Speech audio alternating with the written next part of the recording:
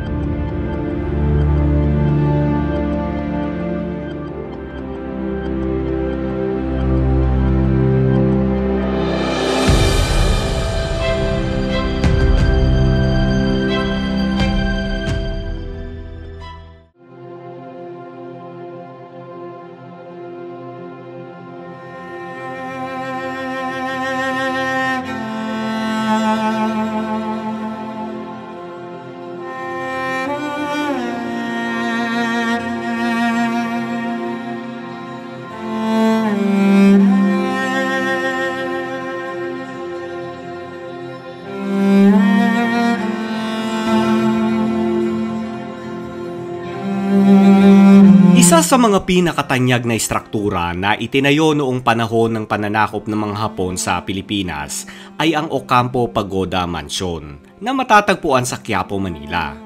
Kung titignan mo ito sa malayuan, iisipin mong may mga Hapon na tumira sa lugar, ngunit ito ay isang admiration lamang sa mga Hapon.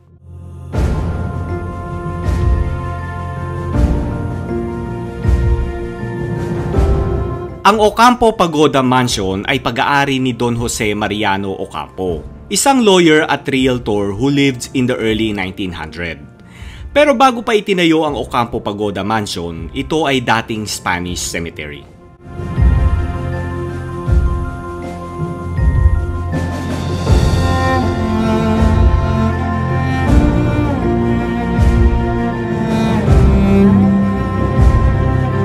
Ang mansyon na ito ay kinumisyon ni Don Jose Mariano Ocampo sa bisperas ng pagsalakay ng mga Hapon sa Pilipinas noong 1936 to 1941. At ito ay naging isang makabuluhang istruktura dahil ito ay nagsilbing kanlungan ng mga kapitbahay sa panahon ng mga labanan sa Himpapawid sa pagitan ng eroplanong Hapon at Amerikano noong ikalawang digmaang pandaigdig.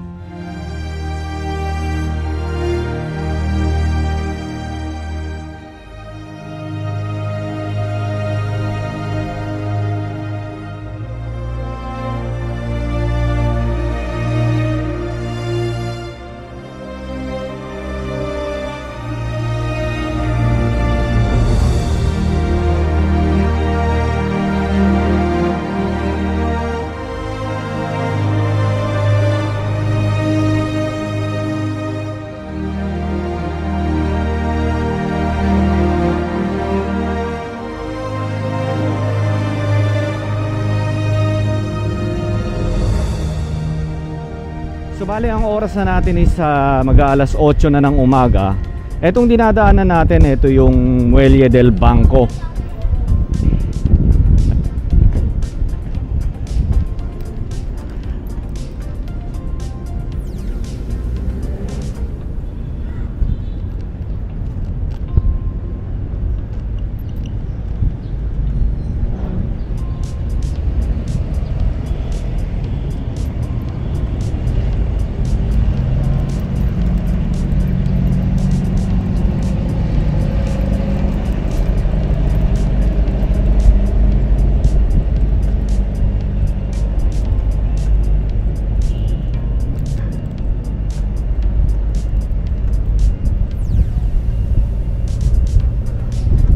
May nakatira na dito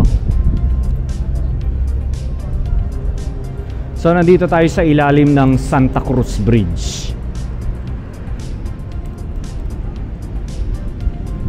So papunta tayo ng ano guys ha, ng Quiapo. Puntahan natin yung Ayun, puntahan natin yung ano, Ocampo Pagoda Mansion.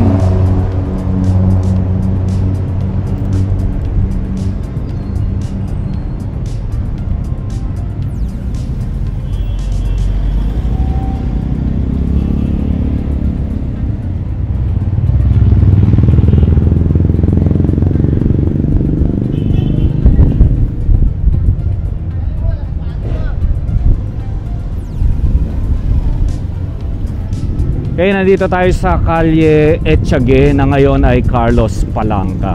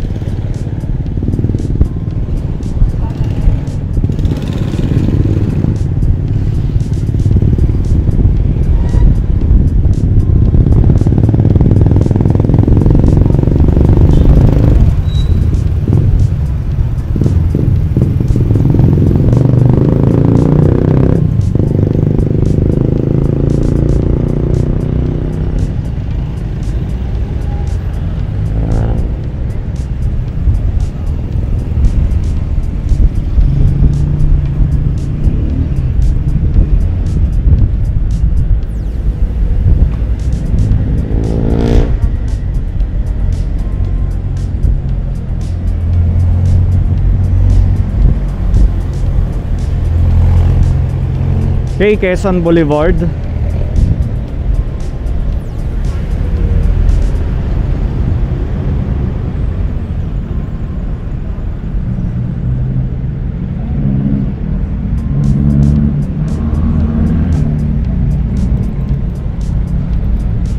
Okay, eto FR Hidalgo Street. Ayan, dating San Sebastian. Kalye San Sebastian.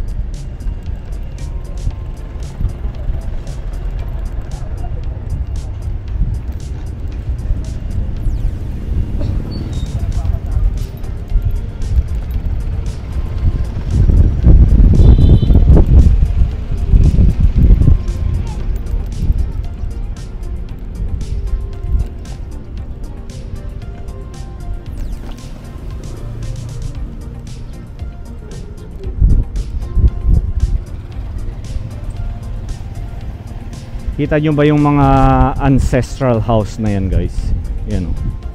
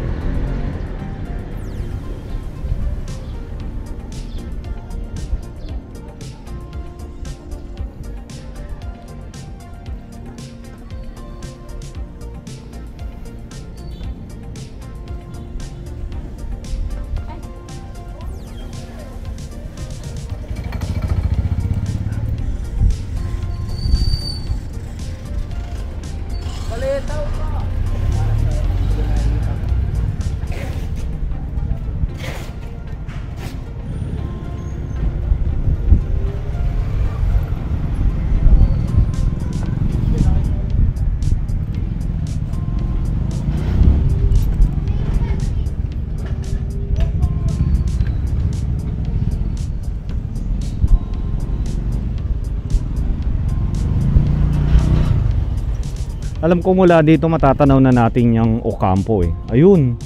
Ayun siya guys oh. There oh.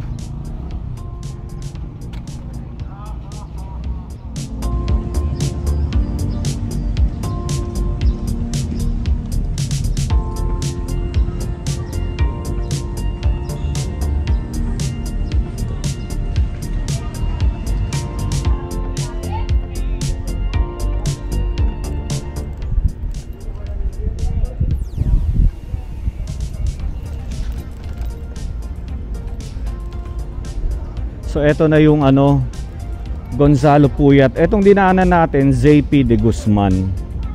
Eto Gonzalo Puyat.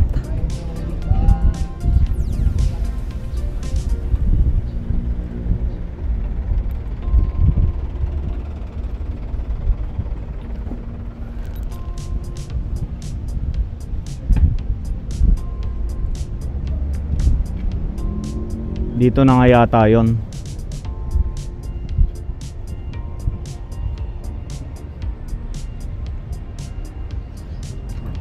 Eto na nga.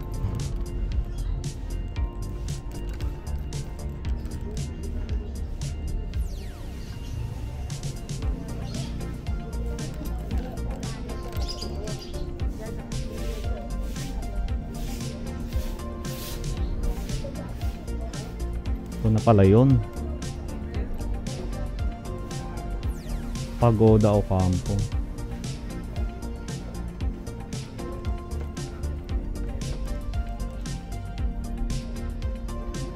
Ayan na siya guys oh, sa harapan natin. Pero ano ah, ah, bawal tayo pumasok syempre. Hanggang dito lang tayo sa labas.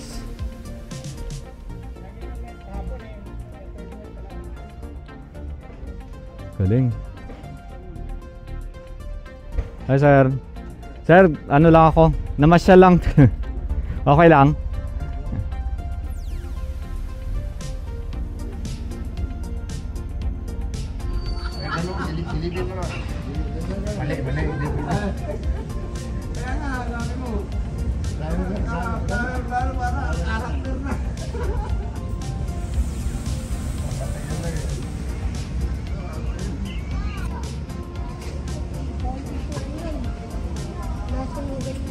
Nasunugan yan?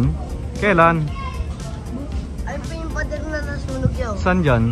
Ah, nasunog pala yan. Kailan pa? Ah, talaga kuya? Buti hindi siya nasira, no? Pero kuya, ang may-ari niya, di ba, Ocampo na, no? Pero ang nandyan ngayon is mga seaman daw. Ah, pinag ginagawang boarding house na lang. Ah, okay. Opo. Nabasa ko from 1942 ginawa. Natapos daw 19 bago magsimula ang World War. Kagagawa lang daw. Ah, yun. Ganda oh. Yun na nga siya, deform niya kasi yung bung sa ibabaw yan, eh, no? Oo, oo, oo. Bindol, bagsak. Ah, pero kuya balita ko nasunog daw 'yan nung nakaraan. Hindi, ito sa kabilang building. Ah, sa kabilang building. Ah, nasunog yung puno. Ah yung puno po. Kuya, pwede ba kita isama sa vlog ko? Sama kit. Ay, si madam na lang. Pero ang hindi yan tinirahan ng mga taga Japan, di ba? Ay. Pilipino lang talaga yung may-ari. Tingnan din siya ng mga... Mga pelikula daw. Dito, yan. Ah. Kumbaga, dyan sila. oo. Kay, din yan. Akala ko nga sa gobyerno na yan, hindi pa pala. Pampo pa yun. Ocampo pa rin. Nasaan na po ba sila Ocampo? Nasa Amerika. Ah, nasa Amerika na po. Katiwala na lang yung nagano. Ah, okay. Ano bang, madam matagal ka na ba rito? Taga rito ka ba talaga? Ah, talaga. Kwentuhan mo naman kami, mga viewers namin. Ano ba yung Quiapo dati? Nung panahon, nung araw, nung panahon pa ng mga ano. Kasi sabi nila, nabasa ko, ang Quiapo daw na salita ay nanggaling daw sa floating na halaman. Tama ba ko? Yung unang panahon na gina... Hindi pa, oo. Kaya daw na natawag na Quiapo. Ayan. Anong araw lang? Tahimik hindi. Meron Marcos. Oo. Tahimik naman po. Oo. Ay, Ah, kaya pala salamat po. mo rito ah. Ayan. Anong pangalan? Ano daw pangalan? Madam, ano po name nila? Carmelita. Carmelita, Ma'am Carmelita, thank you ah. Pero dito, Yung sa buti. brother ko. Al- alin po? Yung. Si Slim. Ah, yung nasa harapan. O sige. Ah, talaga brother nyo. Minsan tatry ko yan. Iba-vlog ko. Kaya din yung ibang mga vlogger dyan. Ah, talaga po? Minsan. Sige, itatry natin yan. Ayun, at anyway, nakita na natin itong ah, Ocampo Mansion, ano? Dito nga sa Quiapo. Ayan. Ocampo Pagoda Mansion. Ayun. Ayan. So mababait naman pala yung mga tao dito. Akala ko. Hello. Ayan. Madam, thank you ulit po ah. Ayan, thank you po, thank you. Ayan, alis na tayo dito. At least ah, nakita natin itong ah, Ocampo Pagoda Mansion. Ayan, dito nga sa Quiapo.